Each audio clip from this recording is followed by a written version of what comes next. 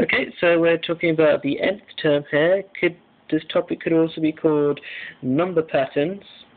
Let me just explain a few things about this topic and then it will make sense. N just means where you are in the pattern. So N, if N was 1, that means you're position 1 in the pattern. Uh, 2, 3, 4, or the 20th number in the pattern. Okay, these are called the terms in the pattern. So this is the first term, second term. This is the actual pattern, this bit here.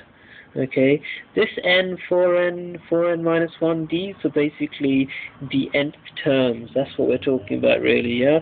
They are the rules to work out how you get from anywhere in this row to uh, your pattern. So if I wanted the fourth number in the pattern, I just use this rule and it will tell me uh, that it's 15. For example, 4n minus 1 means if n is 4, times it by 4, take away 1, so 16, take away 1 is 15.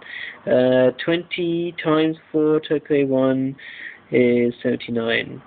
Let's go, let's back up a little bit and let's talk about how I did that. Okay, a simple term is 4n, because 4n just means the 4 times table. Because, for example, if 2n was 2, 4n would be 8.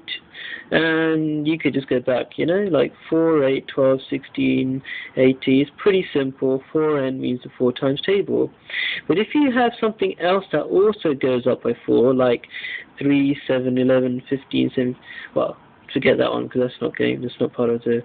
It's not going one, two, three, four. But these are going up by four, but they're not the four times table. In fact, they're just one below the four times table each time, as you can see here. One below, one below, one below. And so what you say, instead of 4n, you just say 4n minus 1. So the rule to work out any number in this pattern is 4n minus 1. It means times the position by 4, so n is position times by 4, and then take away 1, and there you go, you've got the number in the pattern. So 20 times 4, take away 1, gives you 79. So the 20th number in this pattern is 79.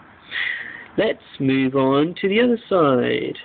Right, um, this is pretty much the same thing except for uh, we're just using matchsticks. So we look at the matchsticks and go, right, we've got four matchsticks here, you've got seven matchsticks there, you've got ten matchsticks there. Just write down the numbers and you're back to the original position we were before when we were just using numbers. So n again is where you are in the pattern and pretend we don't have this yet because we're trying to work this out.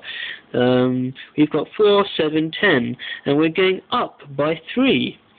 So, well, it's a bit like the 3 times table, but not quite, because the 3 times table says 3, 6, 9, so we're 1 above the 3 times table in each case. So you just write 3n plus 1. Simple. We've got the rule to work out any number in this pattern. So I randomly wrote 25. 25. I want the 25th number in this pattern. So I do 25 times 3 plus 1 because it's the number, the position number times 3 and add 1. 25 times 3 plus 1 is 76.